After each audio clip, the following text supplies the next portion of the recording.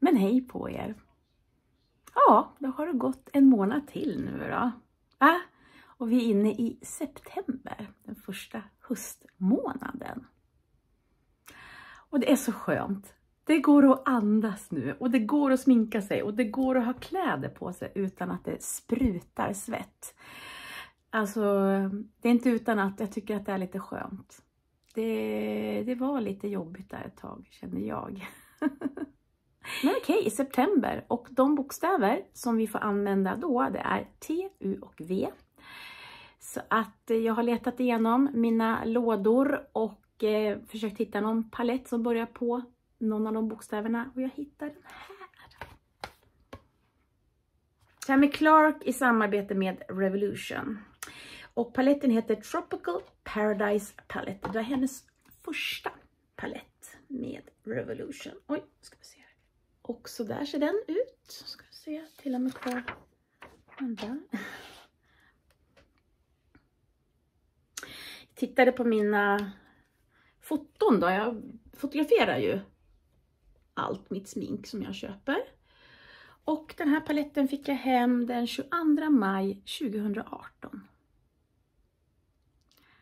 Så det är fyra och ett halvt år sedan nästan. Tiden går hörni. 2018 var ju det året som jag köpte mest smink. Det var då jag byggde upp min kollektion. Och på den tiden var jag ju väldigt, väldigt, väldigt inne på Revolution.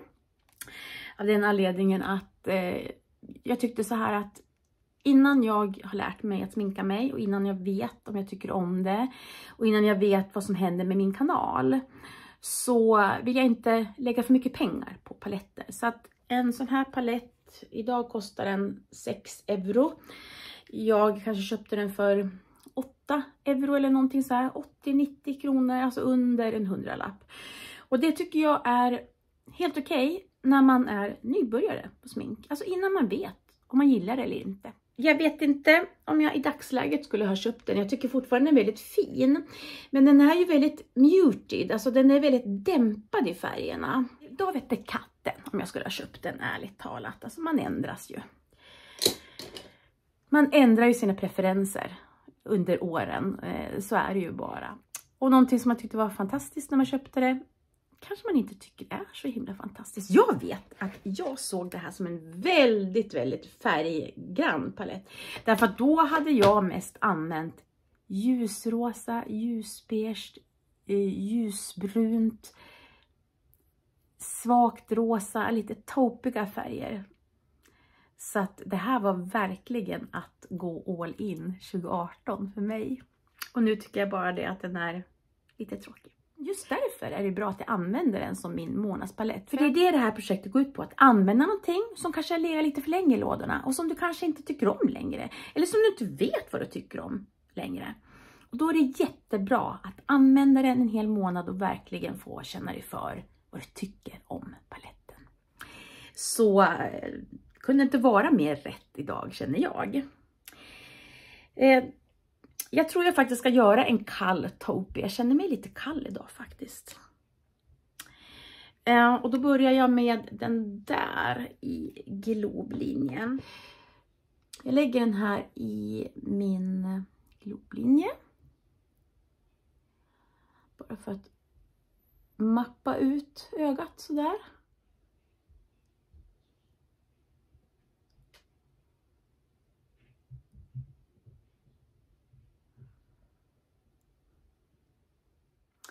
Det är mulet idag och det blir väldigt fint ljus då här inne när det är mulet. Så har jag min ringlight och så har jag min belysningsramp då vid väggen.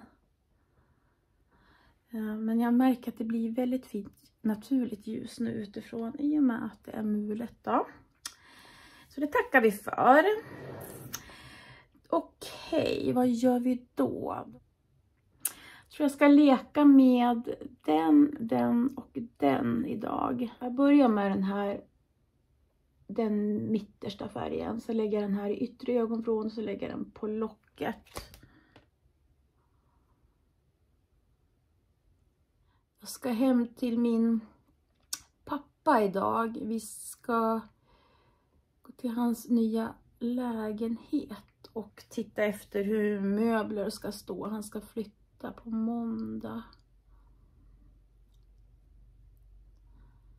Jag har inte jättemycket tid på mig nu men jag tänkte att när det är så här fint ljus och jag ändå ska göra mig i ordning. Va? Jag vill ju fixa till mig lite grann när jag ska ut och åka så här. Då spelar jag in en video här. Försöker fördjupa skuggan längst ut. Det är mycket möjligt att det inte går, att jag behöver gå in med en ännu mörkare färg än just de här tre. Men vi börjar med de här. De här skuggorna är ju sådana som man kan bygga upp då. Ni vet som man gjorde på den gamla hederliga tiden före 2020. Man börjar med en ljusare skugga och sen så tog man en mörkare mörkare. Det här är fortfarande den typen av konsistens eller formula. Eh, den är ju väldigt härlig tycker jag på det viset, den här typen av formulering. För att det är ju väldigt sällan som det blir för fort.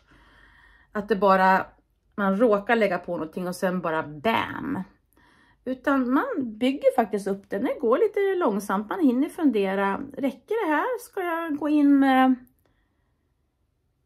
en djupare? Ska jag ta ett lager till? Ska jag bygga upp lite mer? Eller vad, vad vill jag egentligen göra? Och det tycker jag är tycker det är skönt faktiskt att göra så. Då, alltså, då, då är man ju med i varje steg vad som händer och man hinner checka av. Räcker det här eller vill jag ha ytterligare lite mer? Är ni med på vad jag menar? Eh, när man använder den här nya typen av formulering eller den formulering som Beauty Bay har på många av sina skuggor. Då ska man ju börja med den mörkaste skuggan först. Och då, det kanske inte alla gånger blir en logisk följd av skuggor kan jag tycka. För mig är det här en logisk följd av skuggor.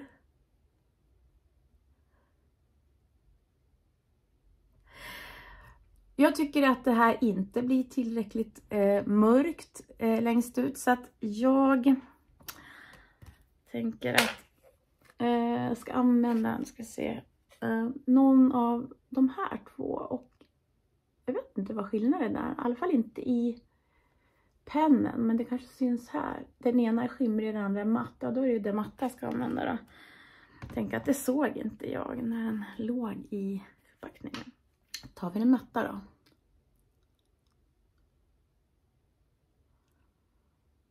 Sådär någonting. Det var det jag var ute efter.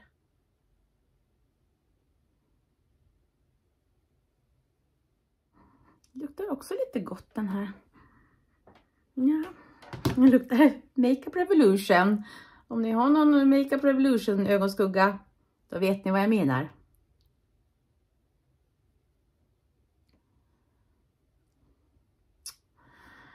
Ja, kära någon.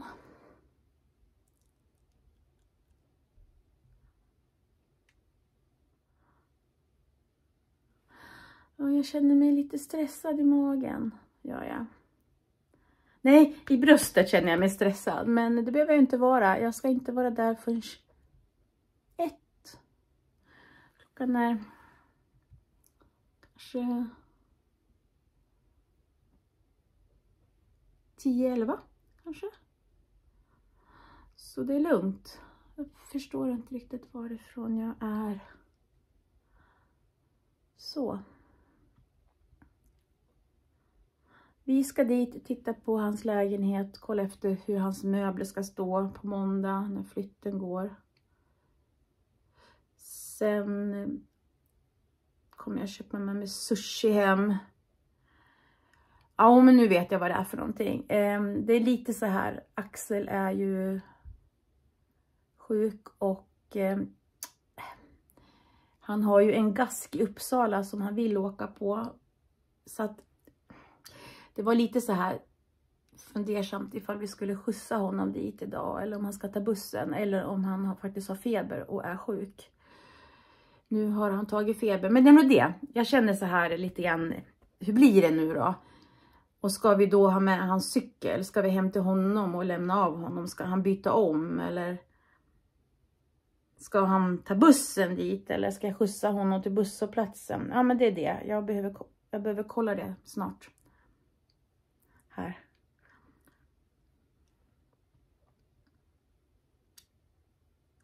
Så att jag vet. Då vet jag ju hur pass länge jag kan vara kvar hos pappa. Men jag tror att han är sjuk så att han inte ska åka och eh, då är det lugnt, Då köper jag med mig sushi hem. Så här, nu har jag tror jag fått någon typ av definition här, kanske ska upp lite mer där. Eh, jag tar den där bara och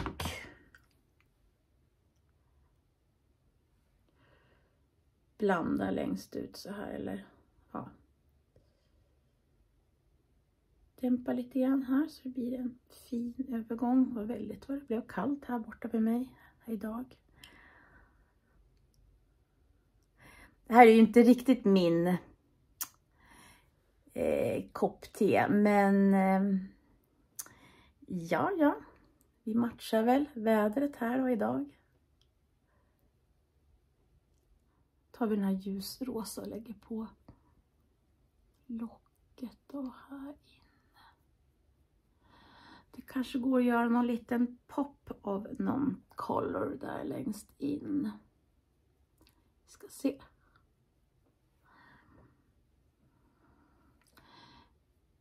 Det är inte superskimriga eller supermetalliska skuggor, ser jag.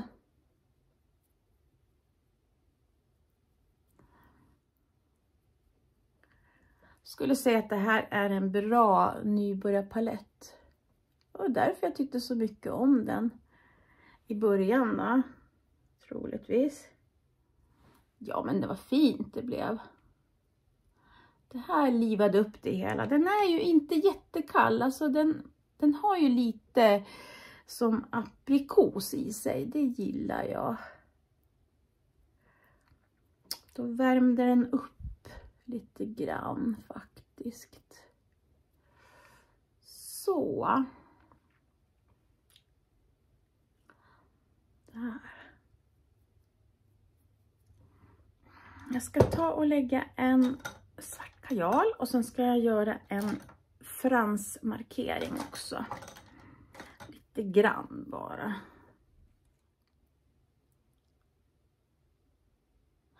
fokusera på att lägga på det i ytterkanten.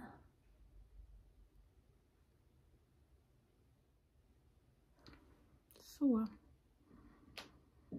Ja, nu så. Nej, han blir hemma idag. Kanske måste skjutsa honom imorgon då.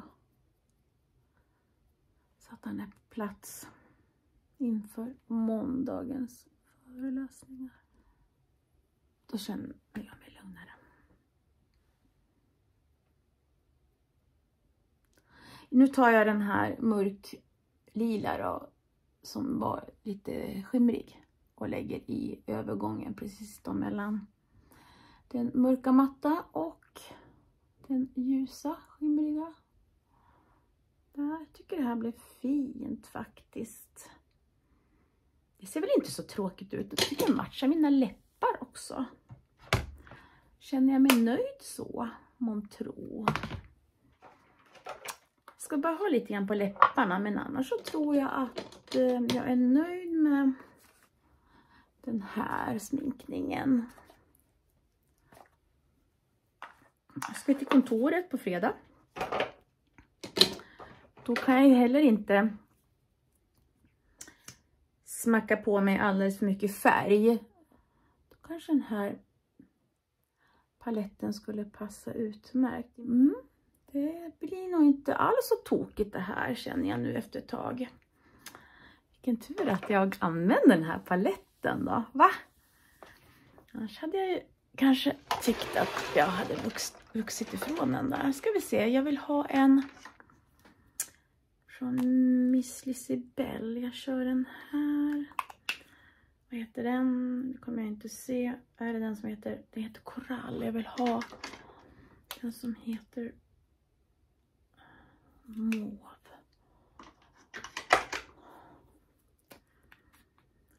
Det är ju mycket liksom, måviga färger.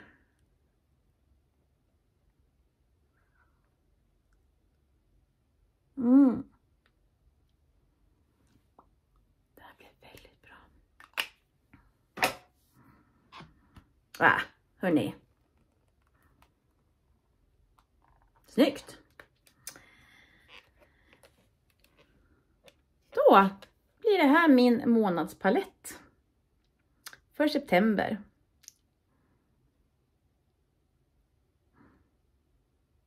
Ja.